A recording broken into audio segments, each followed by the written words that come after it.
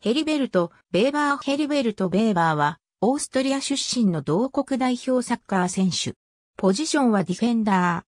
オーストリアブンデスリーガの戦後最多出場記録で2位となる577試合に出場63得点を記録した攻撃的なリベロとして現在まで知られている。18歳の頃に SK シュトルムグラーツでプロデビューを果たし、23歳で SK ラピードウィーンへ移籍。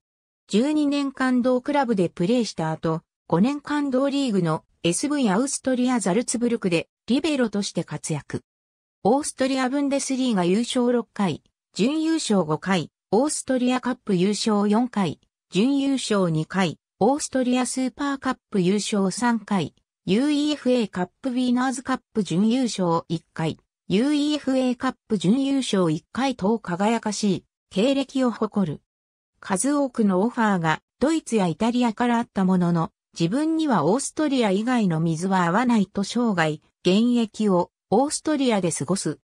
オーストリア A 代表でも13年にわたってプレー、1978年 FIFA ワールドカップアルゼンチン大会と1982年 FIFA ワールドカップスペイン大会では全試合に出場。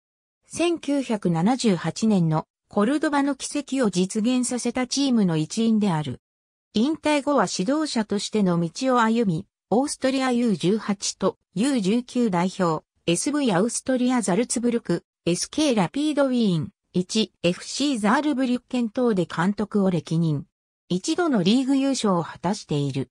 2003年には監督業からも引退をし、オーストリア国営放送のコメンテーターとして活躍している。ありがとうございます。